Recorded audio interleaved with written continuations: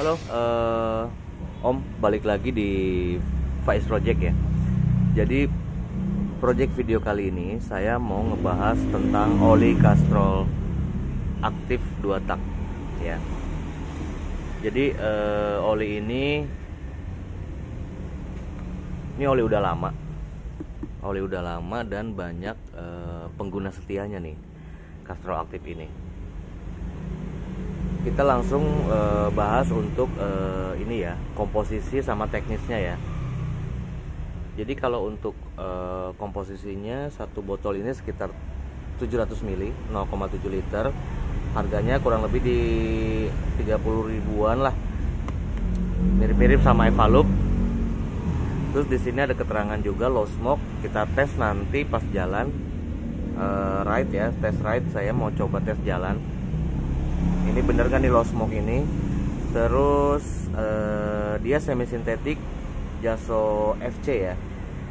Dia Jaso FC kemudian kalau misalnya dari apa namanya dari kelebihannya sendiri jadi eh, katanya sih oli ini bisa apa bisa mengurangi penumpukan karbon ya pada mesin katanya cuma saya nggak tahu karena dari gambarnya juga kan begini kan. Dia melumasinya dengan sempurna ceritanya begitulah.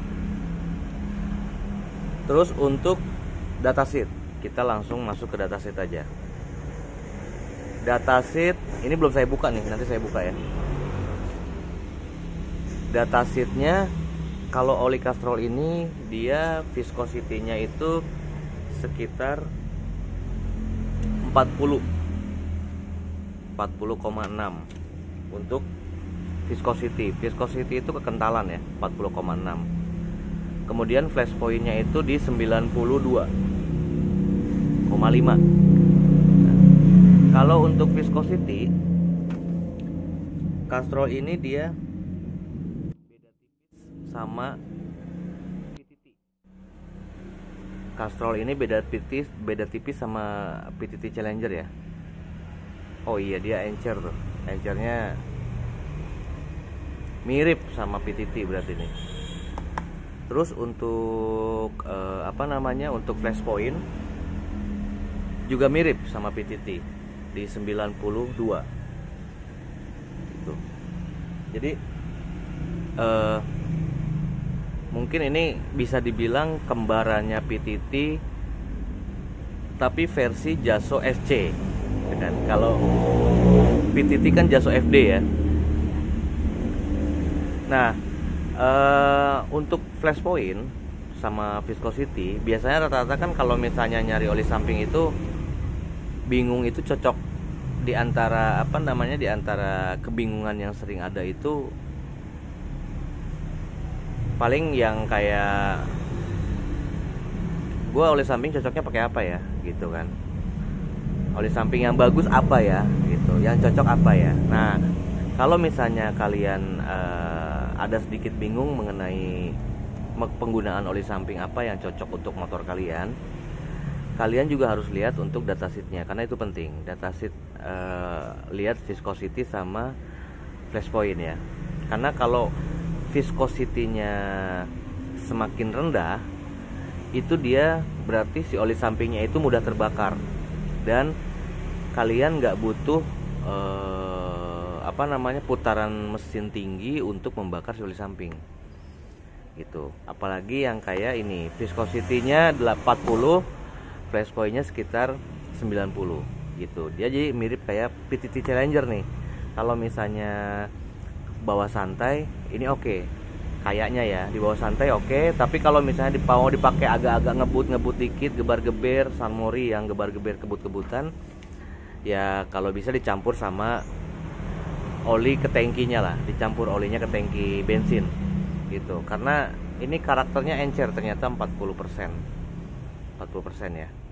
Sekarang saya mau coba cium wanginya. Waduh masih krek krek Wih. Hologram. wanginya seperti apa ini?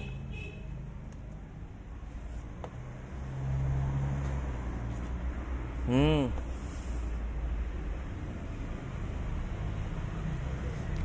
Ini wanginya kayak kayak apa ini ya?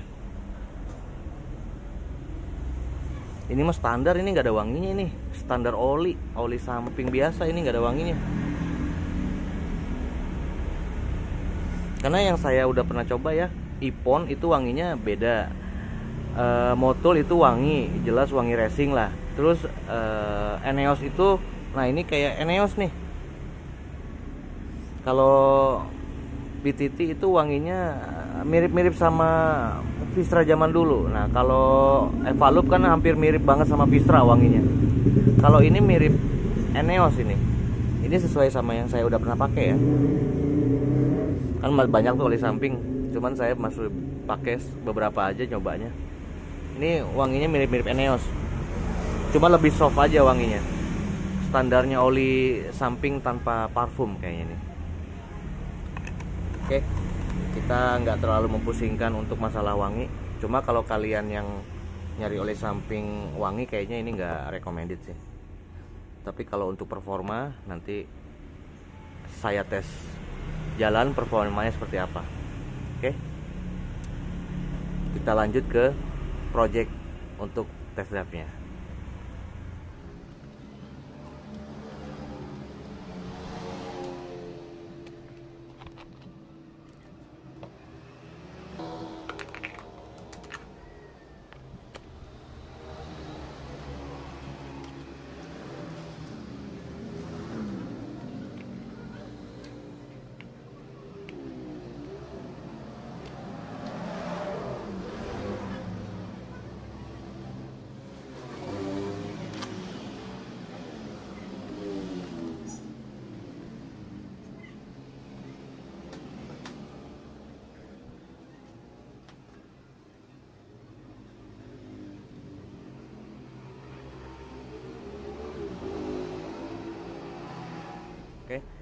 uh, waktunya review, ambil kesimpulan.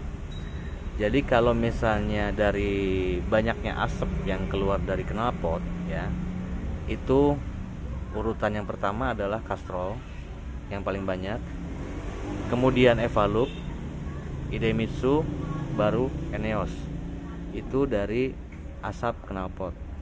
Kemudian kalau dari wangi, yang pertama Evalup, yang kedua Idemitsu, yang ketiga Castrol, yang keempat Eneos.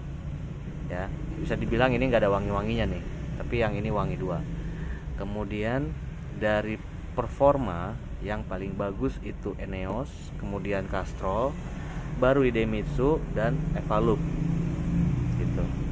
Jadi kalau misalnya untuk masalah performance paling bagus di sini berdua nih, Castrol Eneos.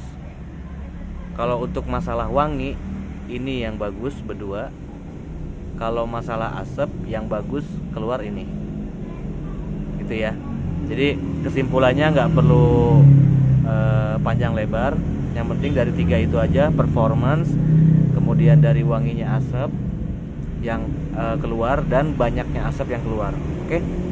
Sekian aja. Oh ya untuk Acastrol untuk tes jalannya nanti di video yang berbeda ya untuk ini.